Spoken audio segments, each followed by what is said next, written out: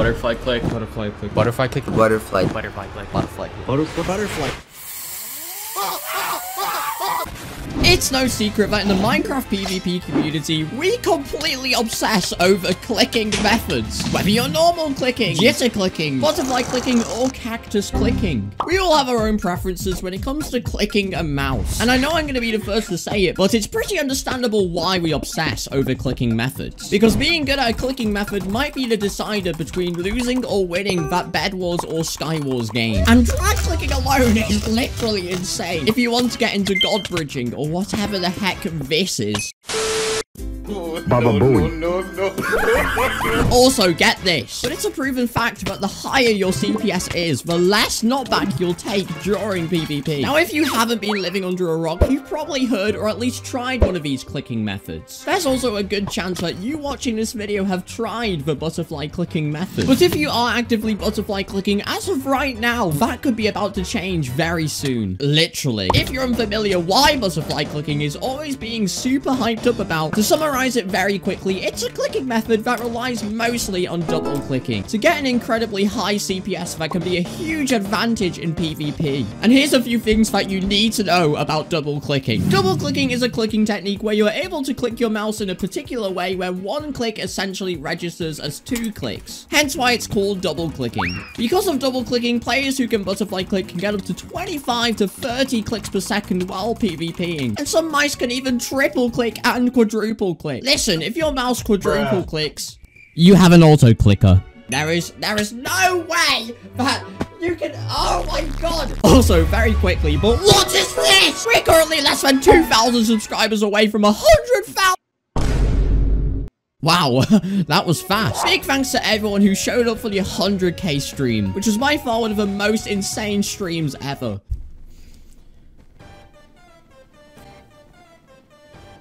But, without further ado, let's get into the exciting part of the video.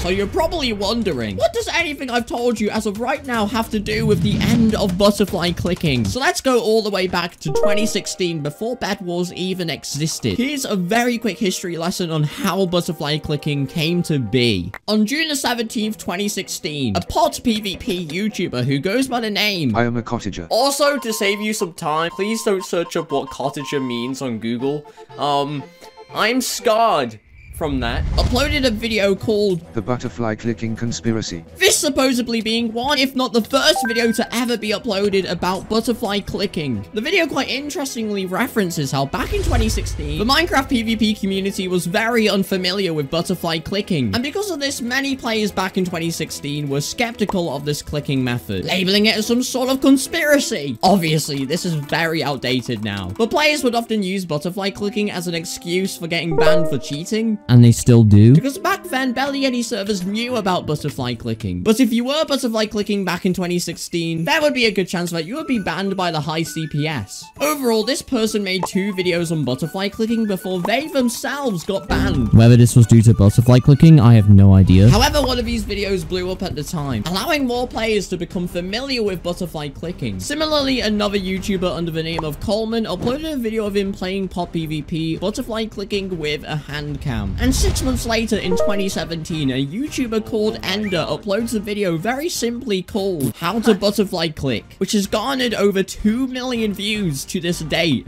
Fast forward all the way to 2019 Minecraft, which I like to call the rise of butterfly clicking. During this time, the community began to idolize the idea of having high CPS even more. This meant that players began looking for ways to click faster, and this effectively caused a lot of normal clicking players to switch to jitter clicking or butterfly. Midway through 2019, Minecraft YouTubers began making tutorials showing people how to butterfly click due to the increased demand of there being a tutorial. These YouTubers being Ventus MC, Ricky, just kidding, I know it's RKY. Hoopy Doop Goo, Mortide, and me.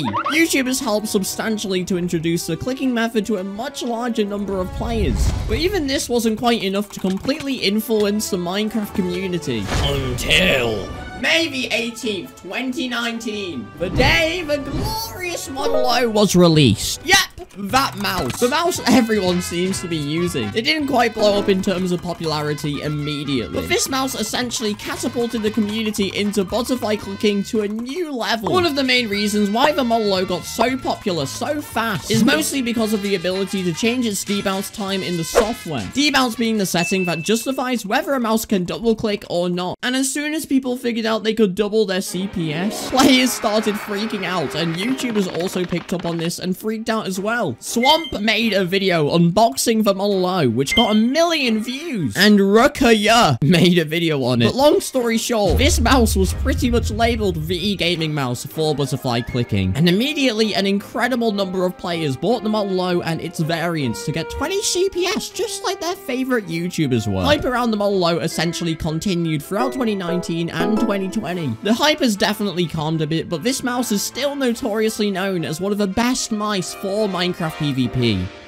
Due to the huge influx of players butterfly clicking, a large amount of servers had to adapt to people butterfly clicking so players wouldn't get banned. And now that we're almost at the end of 2021, it feels like everyone has a Model and butterfly clicks. So, now that you know the key parts of the history of butterfly clicking and my perspective on how it came to popularity, let's talk about the problems of butterfly clicking, its existence in the present, and its future as one of the most popular clicking methods. Oh no.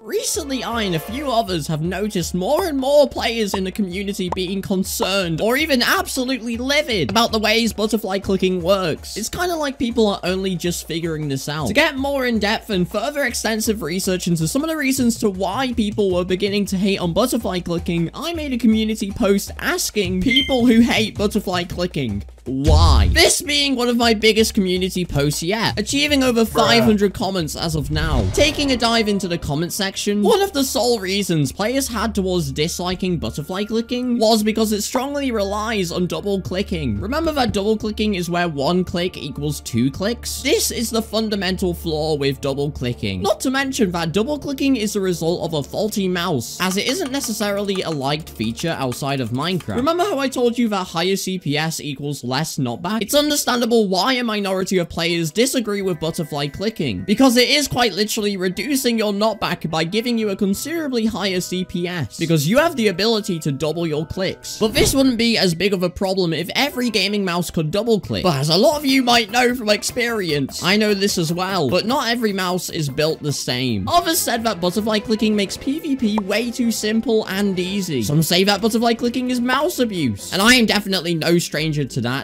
at all. There were some people who disagreed and said that double clicking doesn't really serve as big of an advantage in actual PvP scenarios and is most useful for bridging. So what about the future of butterfly clicking? Well, I believe there are three potential possible timelines that could potentially occur over the forthcoming months and years in the PvP community. Potential future one. Nothing is going to change. And I feel like this might be one of the more likely outcomes. Essentially, things are going to stay the same and no action will take place to prevent butterfly clicking or more specifically double clicking, at least on Hypixel. There could also be a very small chance that debounce settings will come to more gaming mice than just a very few, meaning that double clicking will be more accessible for a larger number of players in the Minecraft community. Ah yes, very bobbers. I hate myself for saying that. Potential future 2. In this alternative universe, servers such as Hypixel might urge or flat out ban, not specifically using a mouse like the Model O, but more specifically using a low debounce setting. I feel like this scenario is very far stretched, and if not incredibly unlikely to take place, since it would make a lot less sense for Hypixel to ban something that has already become so generalized in the Minecraft PvP community. Essentially, if Hypixel was going to ban butterfly clicking or double clicking, they probably would have done it a lot sooner. Other servers, yeah, man, I, I don't know. Potential future free. It might become frowned upon to even be able to double click. Oh, you own a Model D. Deny. Model D, more like Model V is nuts. My neighbors just called and they told us to keep the noise down. If more players feel like double clicking gives butterfly clickers an advantage in PvP, then it might become something that's discouraged in the PvP community. Some servers might ban double clicking in this scenario, but probably not every server. This entire idea has been on my mind for quite a while now, and I just wanted to share it with you guys. Subscribe. Do it.